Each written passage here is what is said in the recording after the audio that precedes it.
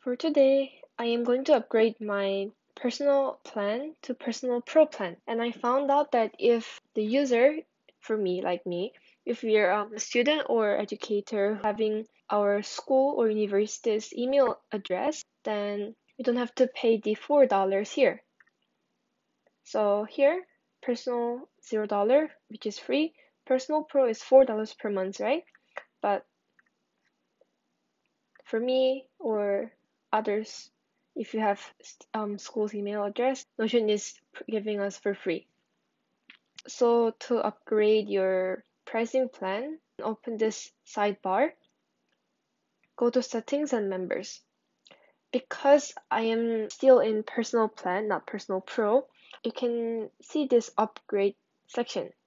Click here, scroll down, don't click this part right now.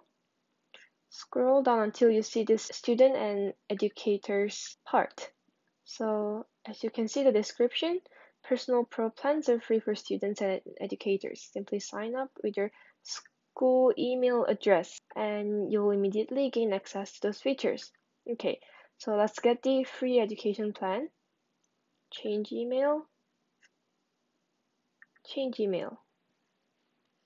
Okay, the so Please enter the password first and enter your school email address. Okay.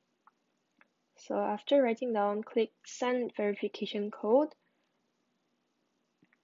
Okay, after waiting a few seconds, you'll get this verification code. Just copy and paste it and click change email. And now please click this update button and oh you can still see the upgrade here. Go to upgrade.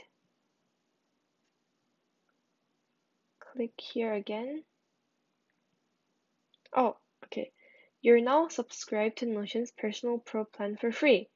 So now I have the personal pro education plan which has quite several benefits.